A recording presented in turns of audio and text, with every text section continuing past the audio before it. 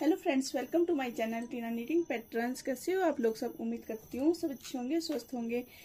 आज मैं आपको एक नए डिज़ाइन में बेबी सेट बना के बताऊँगी, ठीक है? तो ये इस कार्ड ये वाला कार्ड है। इस कार्ड से कैसे डिज़ाइन पड़ता है, ये मैं आपको इस वीडियो में बताऊँगी। तो इसके, जैसे बेबी सेट बनाने के लिए आप कमेंट करते हो कि मैं कितने कुंडे लगाती हूँ, ठीक है? तो मैं आपको बहुत आसानी और बहुत ही ईजी तरीके से बताती हूँ, क्योंकि मैं काउंटिंग के अनुसार ही कोई भी सेट या स्वेटर या कोटी या लेडीज़ कुर्ती मतलब जो कुछ भी बनाती हूँ वो काउंटिंग के से ही मतलब सिलाई काउंट करके ही बनाती हूँ, ठीक है? इतने इजी स्टेप से बनाती हूँ कि आप मतलब एक बार काउंटिंग के जितने नंबर जितनी मैं सिलाई लेती हूँ, उतनी पे आप काट दोगे तो बिल्कुल परफेक्ट बन के आता है, ठीक है? तो इसलिए मैं फिर से बता रही हूँ कि बेबी सेट मतलब वन ईयर बेबी सेट के लिए, एक से डेढ़ साल के बच्चे के लिए मैं कम से कम 68 से 68 तक की कुंडे लगाती हूँ या फिर 65 से 65 तक है? तो आप मतलब डिपेंड करता है वूल पर और डिमांड पर ठीक है? कई बार डिमांड होती है क्योंकि पता क्या बच्चे पे डिपेंड होता है क्योंकि बच्चा कई बार एक साल का होते हुए भी मतलब थोड़ा आ, मतलब नॉर्मल साइज़ का बनता है ठीक है? और कई बार एक साल का बच्चा वाला सेट दो साल के बेबी सेट के बराबर में बनता है ठीक है? तो उसके अनुसार आप बेबी सेट बना सकते हो, ठीक है? तो इसमें मैंने देखो ये सेट जो मैं बनाने जा रही हूँ, इसमें मैंने 68 से 68 तक के कुंडे लगाए हैं, ठीक है? तो ब्लैक मेरा बॉर्डर है और छब्बीस सिलाई मैंने यहाँ तक बॉर्डर में बना लिया और कैज में आपको पहले बता चुकी हूँ कि मेरे पास दो मशीनें हैं तो फिर एक कैज मेरा थोड़ा लूज बुनता है और एक मतलब नॉर्मल बुनाई करता है, ठीक है? तो इसको मैंने आठ नंबर पे बनाया है और मैं दूसरी मशीन में बनाती तो इसको मैं सात नंबर पे बनाती बॉर्डर ठीक है? और ये छब्बीस सिलाई लगा के मैंने बॉर्डर तैयार कर लिया है, ठीक है? तो इसके बाद मैंने क्या करना है, ये देखो कैज को मेरा ये राइट साइड में है, ये कैज मेरा राइट साइड में है, ठीक है? तो राइट साइड से मैंने इसको लेफ़्ट साइड की ओर लेके आना है, क्योंकि यहाँ मैं धागा दूसरा चेंज करूँगी मतलब मेन बेस में दूसरा बनाऊँगी तो इसको मैं धागे को इस साइड लेके आऊँगी दस नंबर पर, ठीक? ये देखो, दस नंबर पर मैंने इस साइड लगा ली ठीक है? अब हम क्या करेंगे? सबसे पहले धागा चेंज करेंगे। ये देखो, जो कोई भी मैंने धागा जैसे बेस बनाना है मतलब मेन जो हमारा कलर रहेगा, वो मैं आपको धागा यहाँ पर चेंज करके बताऊँगी। ठीक है? तो इसमें मैं बाबा कलर का जैसे ये वाला कलर लगाऊँगी मेन के बेस के लिए। तो फिर इसको इस तरह से धागा चेंज करके एक सिलाई हम राइट साइड की ओर कैश लेके जाएँगे। ठीक है? अब हमने क्या करना है? अब जैसे जो हमने डिज़ाइन डालना है, वो कार्ड हम लगा लेते हैं। तो ये वाला कार्ड मैं आपको इस कार्ड से डिज़ाइन बना के बताऊँगी, ठीक है? तो कार्ड लगाने का तरीका सेम है, ठीक है? मतलब ये हमारी लाइन बिल्कुल इक्वल बराबर आनी चाहिए, ठीक है? फिर इसको दबाएँगे प्रेस करेंगे और फिर इस तरह से डाउन में लेके जाएँगे, ठीक? इस तरह से, ठीक है?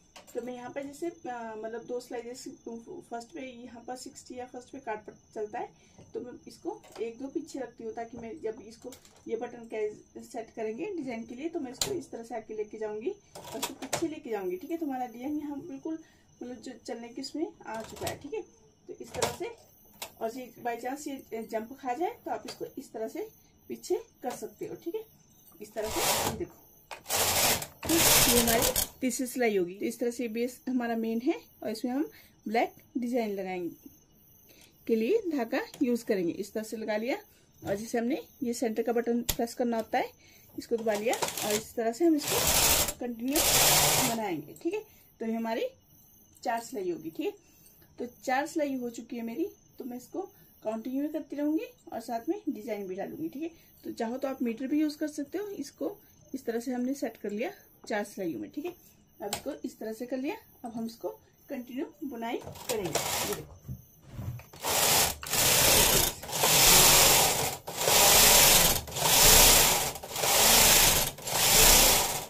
मीटर जैसे जंपिंग करता है, खराब हो तो आप साथ साथ में कंटिन्यू कर सकते हैं। या कार्ड के अनुसार, जैसे हमारी यहाँ पर दस सिलाई हो चुकी है तो कार्ड मैंने दो सिलाई बाद लगाया तो यहाँ पर आठ पर हमारा कार्ड ठीक है। कार्ड की काउंटिंग है, ठीक है? तो आठ प्लस दो, ठीक है? दस। इसी हिसाब से भी आप काउंटिंग कर सकते हो।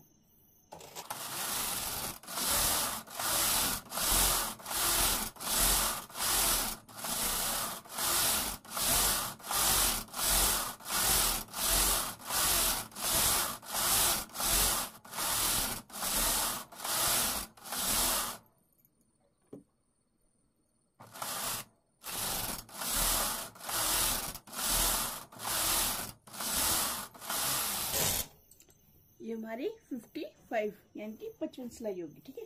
तो इस तरह से आप इसको कंटिन्यू भी चला सकते थे क्योंकि इसको हमने यहाँ पर पिन लगा के मतलब फिर हम इसको चला सकते हैं, ठीक है?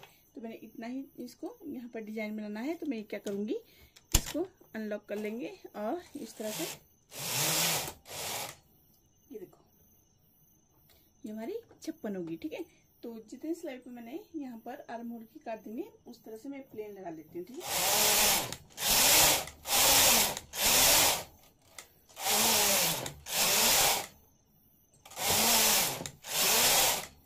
ये हमारी सिक्सटी फोर सिलाई होगी, ठीक है? सिक्सटी फोर में मैंने आर्म होल की काट देनी है तो इसको मैं इस तरह से देखो, इसके हम जैसे चार हिस्से करेंगे, दो हिस्से पीछे और एक एक फ्रंट के लिए, ठीक है? तो मैं जैसे ये कार्ड का डिज़ाइन शेयर करना था तो बताती हूँ ये किस तरह से डिज़ाइन बन के आएगी इस तरह से हमारे ये डिज़ाइन बन के आया, ठीक है? तो इस तरह से हमारे ये बहुत ही सुंदर बेबी सेट बनेगा। करूँगी। सबसे पहले हम इसके चार हिस्से करेंगे तो सिक्सटी एट है। तो सिक्सटी एट कुंडे हम पीछे रखेंगे और सिक्सटी एट के, यानी कि अठासठ कुंडे का हम हाफ़ करेंगे, यानी कि चौंतीस नीडल हम आगे करेंगे। एक, दो, तीन, चार, पाँच छ सात, आठ, नौ, दस और ये ग्यारह। ग्यारह तीन तैतीस प्लस एक चौंतीस, ठीक है? चौंतीस नीडल को हमने लॉक कर देना। लॉक के लिए हम ये वाला टक बटन इस साइड को करेंगे ठीक? ये देखो। ठीक? इस तरह से यहाँ भी हम चौंतीस नीडल आगे करेंगे। एक, दो, तीन, चार, पाँच, छ, सात, आठ, नौ, दस, ग्यारह, यानी कि ग्यारह ये तैतीस, प्लस एक, चौंतीस, ठीक है? अब हमने क्या करना है? यहाँ पर तीन कुंडे की काट देनी है। देखो, इस तरह से। ठीक है वेट लगाने बहुत ज़रूरी होते हैं जो हम सेंटर में काम कर रहे होते हैं, ठीक है? तो इस तरह से हम यहाँ पर एक कुंडा इस तरह से निकालेंगे और यहाँ इसको इस तरह से डालेंगे ठीक? ये मेरे पास ऑन डिमांड है। पता क्या मैं वीडियो क्यों नहीं आजकल बना पा रही हूँ? क्योंकि मैं नीटिंग के साथ साथ स्टिचिंग का काम भी करती हूँ, यानी कि लेडीज़ टेलर भी हूँ, ठीक है? तो इसलिए मतलब गर्मियों में थोड़ा नीटिंग का काम करना थोड़ा टफ हो जाता है, वीडियो बनानी टफ हो जाती है, ठीक है? तो अगर जो आप नीटिंग के साथ साथ स्टिचिंग की भी सीखना चाहते हो तो मैं आपको उसकी वीडियो भी इसी चैनल पर शेयर करूँगी, ठीक है? तो आप कमेंट करके ज़रूर बताना मेरे को कि आप नीटिंग के साथ साथ स्टिचिंग भी सीखना चाहते हो।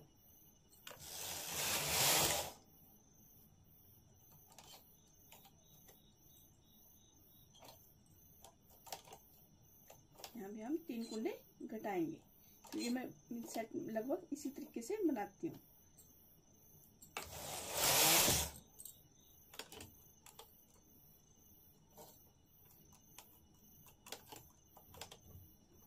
इस तरह से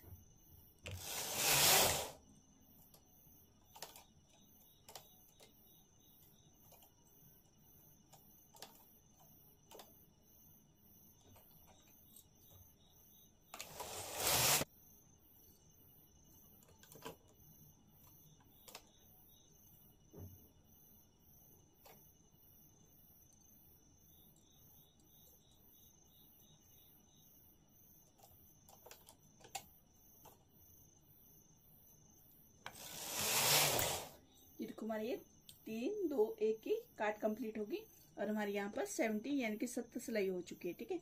तो सत्तर सिलाई हो चुकी है, अब हम इसको कंटिन्यू बनाएँगे जितना हमने लास्ट सिलाई रखनी आ रहा है या एक सौ तेरह हम लास्ट रखेंगे, ठीक है? सत्तर, एक सौ तेरह सिलाई होगी, ये धागा यहाँ से कट कट कर लेंगे। तरह से निकाल लेंगे, ठीक है? तो हमारा पैक पल्ला कंप्लीट हो चुका है, ठीक? ये देखो। इस तरह से, ठीक है? ये बैक पल्ला कंप्लीट हो चुका है, ठीक? इस तरह से बन के अब हम ये वाली नीडल जो सेंटर की नीडल है, उसको हम पीछे कर लेंगे, ठीक? आप चाहो तो आप साइड वाला या राइट साइड वाला, ठीक है? तो मैं इसको, ये देखो पहले हम लेफ़्ट साइड वाला यहाँ का पार्ट बनाएँगे तो हम क्या करेंगे? इस तरह से क्या लेके जाएँगे, और ये नीड को थोड़ा पीछे कर लेंगे, क्योंकि इस टाइम ये लॉक है। इस तरह से अब हम इसमें धागा लगाएँगे। इस तरह से तो इसी धागे से हम इसमें यहाँ पर तीन की काट करेंगे। ये देखो, एक, दो और ये तीन, ठीक? रॉड निकाल लेंगे। अब हम यहाँ पर वेट लगाएँगे। यहाँ पर दो की काट देंगे। एक, दो। एक की काट देंगे। जैसे हमने चौसठ पर काट स्टार्ट की थी तो हमारी ये छह सिलाइयों में कंप्लीट होती है तो हमारी ये सत्तर सिलाई हो चुकी है। अब हम काउंटिंग करेंगे। जैसे हम, हमारी लास्ट है एक सौ तेरह तेरह माइनस बीस बीस पर हम गले की काट देंगे। ये हमारी तिरानवे सिलाई होगी यानी कि एक सौ तेरह तेरह माइनस बीस नाइन्टी थ्री ठीक? तो इस पर हम गले की काट देंगे। पाँच, तीन, दो, एक।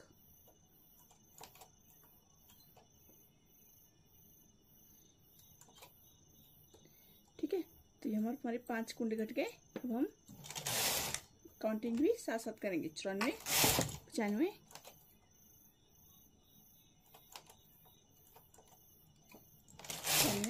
छियानवे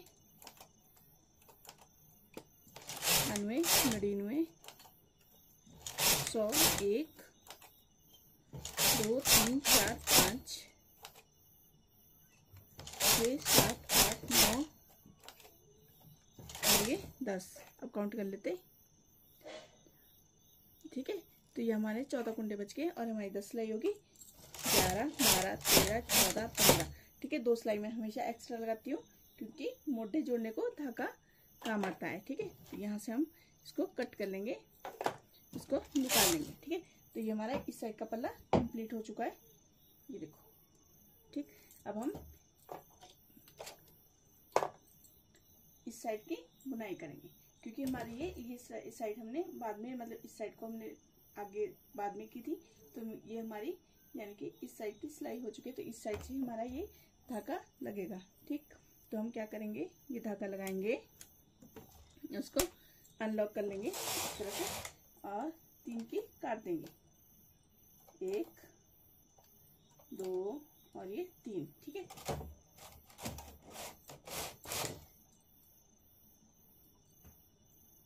यहाँ पर दो की काट देंगे।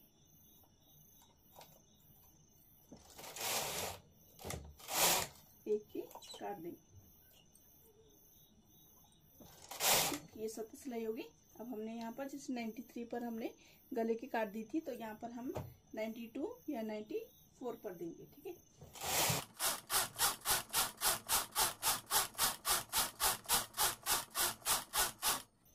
ये हमारी बानवे सिलाई होगी। अब हम पाँच, तीन, दो, एक की काट देंगे। एक, दो, तीन, चार, पाँच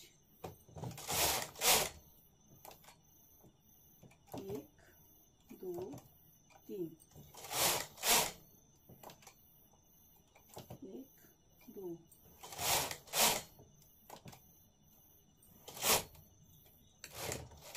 ठीक है तो हमारी सौ लाई होगी साथ साथ काउंटिंग करेंगे।